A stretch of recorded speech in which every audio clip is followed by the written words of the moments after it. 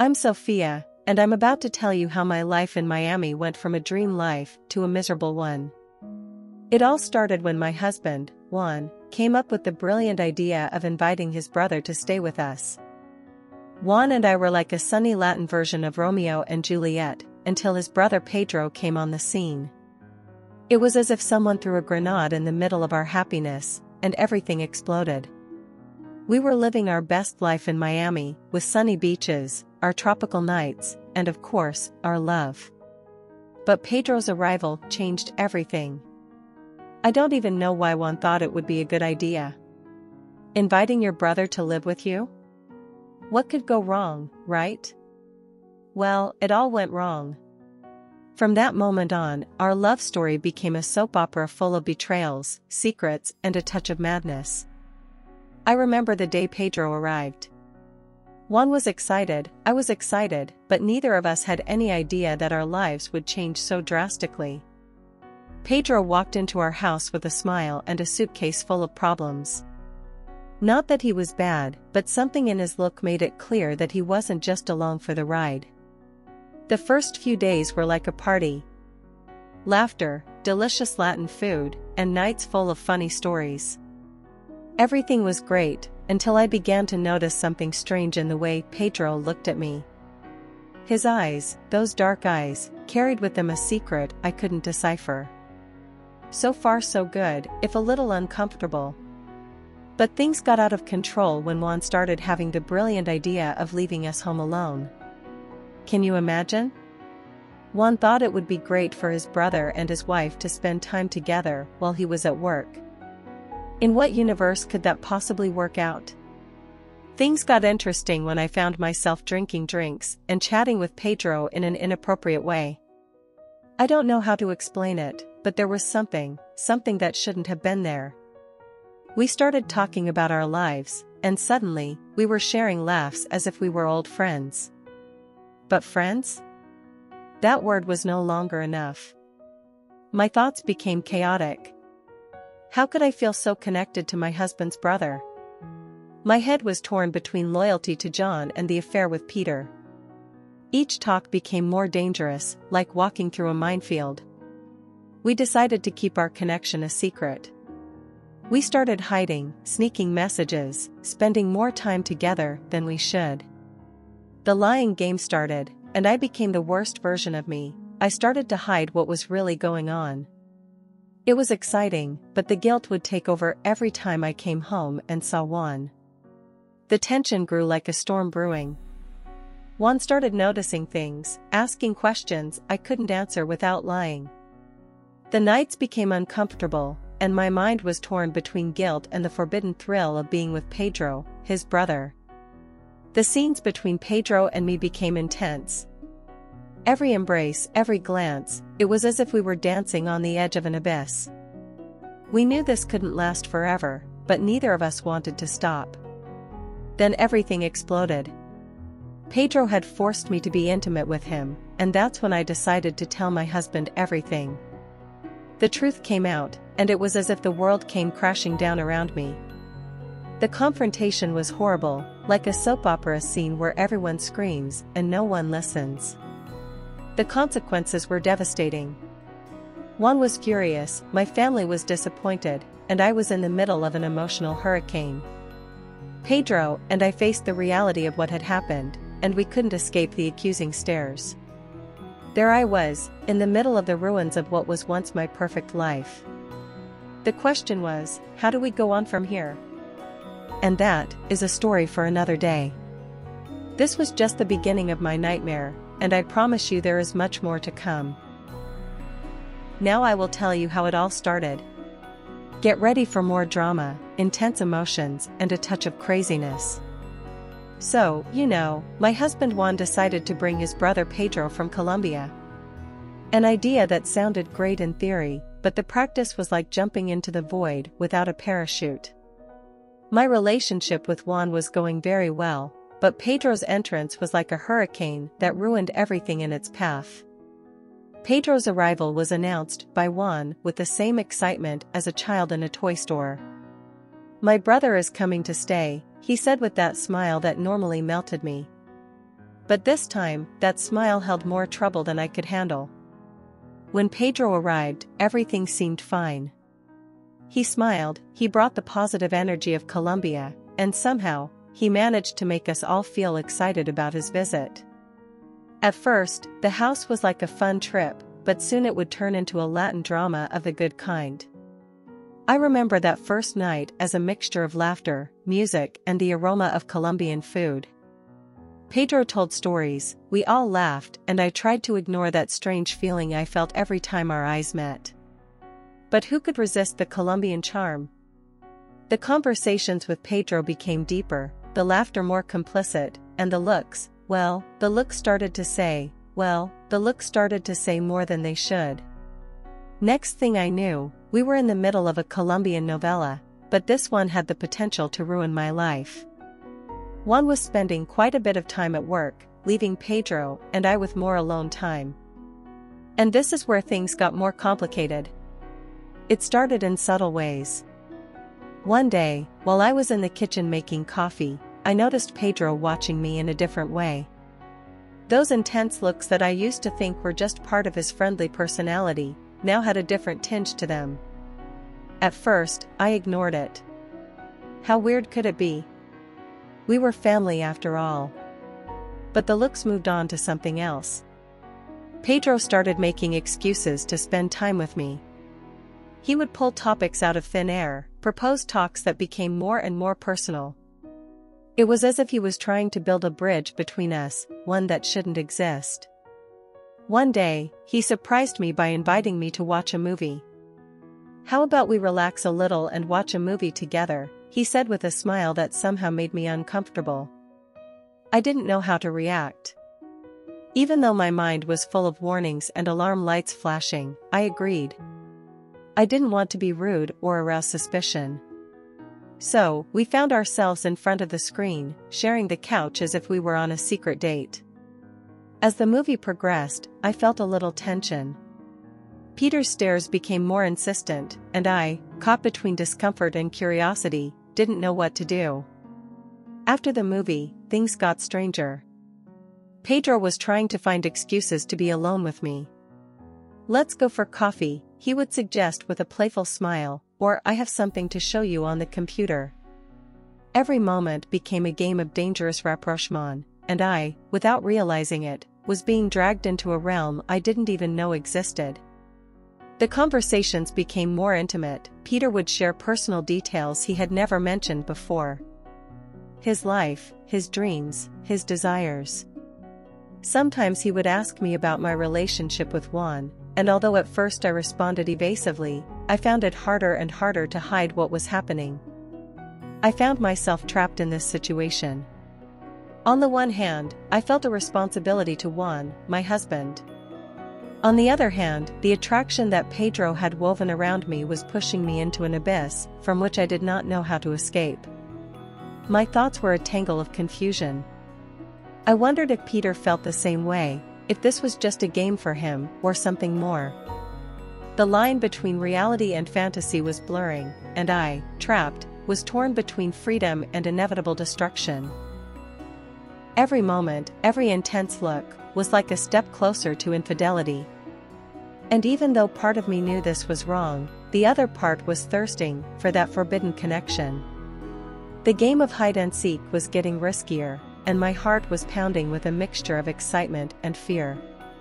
So continued this real-life Colombian novel, where each page seemed to take me further away from the reality I knew.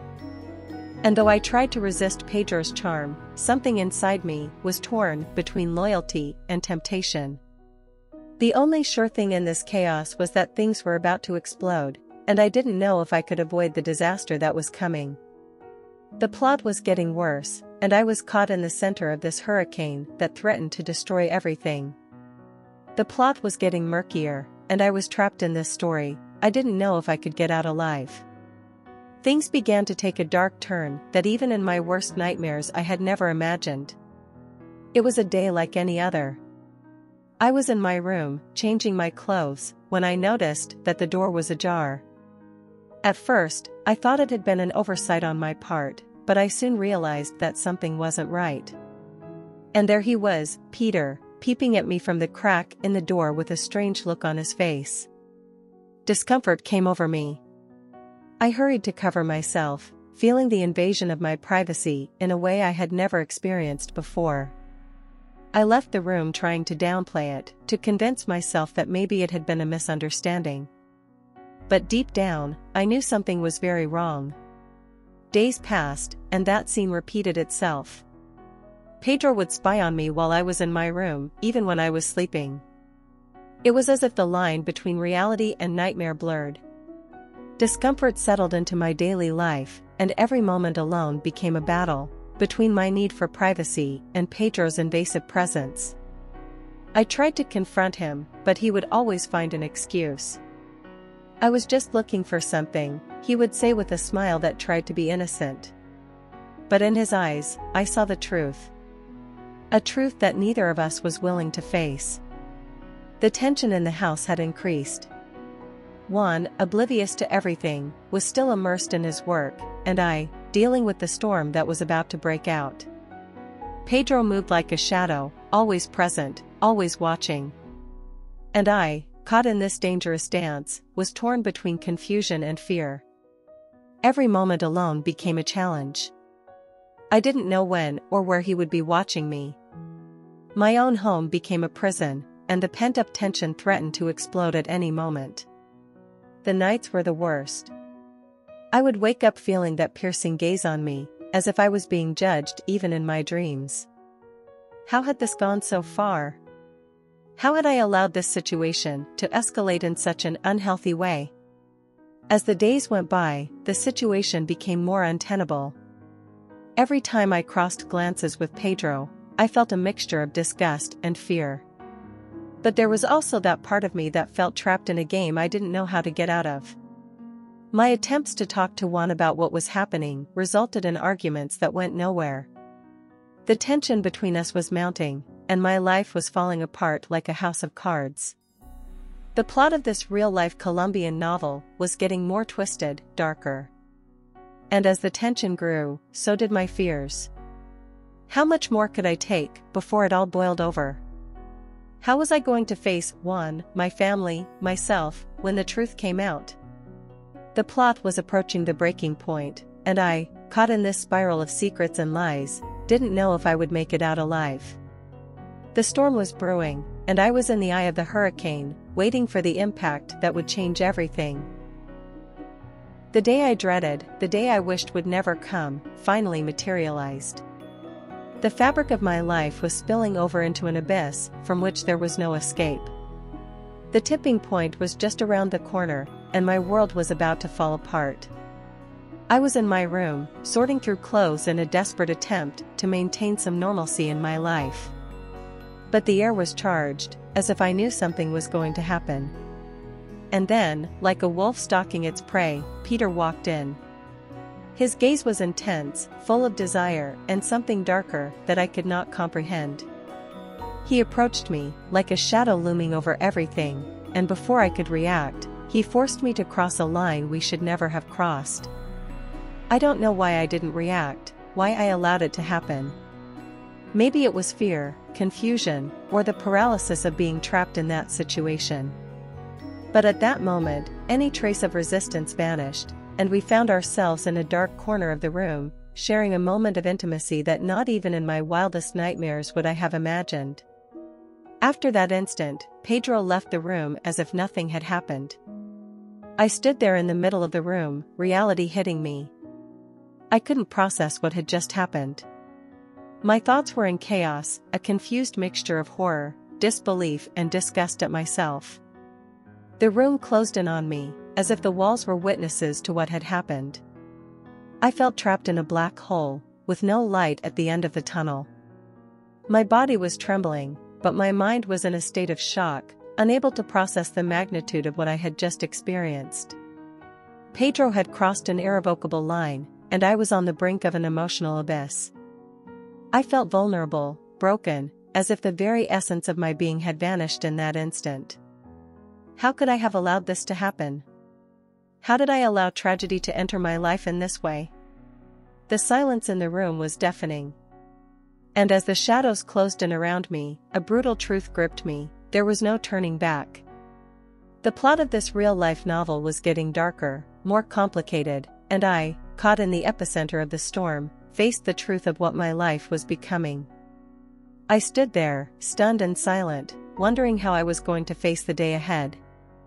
The confrontation with reality loomed like a fierce storm, and I was in the eye of the hurricane, with no escape.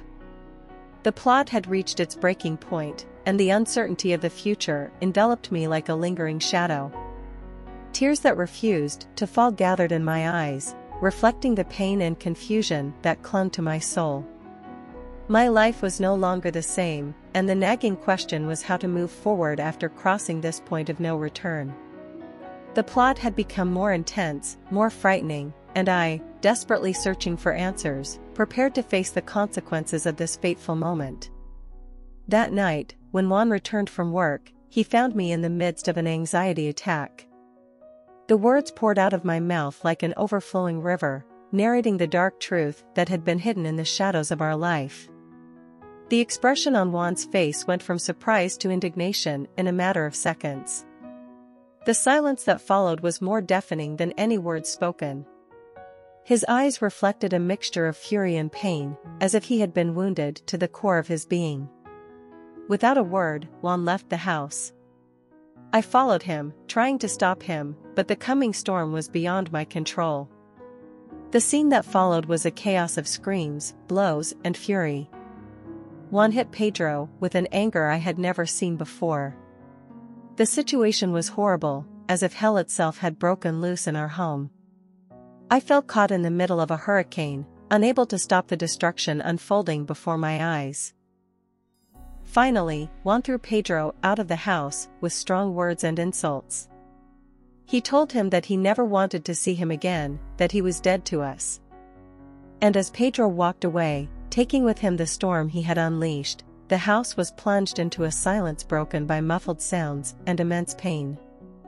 Juan, with his breathing agitated and his face marked by the violence of what had just happened. We looked at each other, but we were no longer the same. It was at that moment, in the gloom of our devastated house, that Juan asked for my forgiveness. His words were a whisper laden with regret, and the reality of what we had lost settled into our broken hearts. We were both victims of a story that should never have been written. Night slipped into dawn, and we found ourselves silent, trapped in the darkness of our own decisions. The room was filled with a heavy air, permeated with the tragedy we had created. Reality was pounding like a hammer, and we faced the consequences. The days that followed were horrible. The house, which used to be our refuge, became a reminder of what had happened. The shadows of betrayal and violence clung to every corner, and I, lost in my own thoughts, struggled to find a way out. My relationship with Juan was fractured, and although we tried to rebuild what was left, it was like trying to repair a broken mirror. The cracks remained obvious and painful. Every look, every word, was marked by the scar of that fateful night. The family was also divided. The news spread quickly, looks of disappointment and judgment followed us wherever we went. Confidence in us crumbled, and though we tried to explain how it all happened, the shadow of mistrust lingered. But amidst all the chaos and devastation, Juan and I tried to find hope. We faced our own weaknesses, the dark reality of our actions. We immersed ourselves in difficult conversations, and in searching for a way to heal the wounds we ourselves had caused. That was, without a doubt, one of the worst experiences of my life. Going through the storm of betrayal and violence left deep scars, marking a page in our history that could not be erased. But in the midst of the darkness, we tried to find the light, to learn from our mistakes, and to move forward into an uncertain future.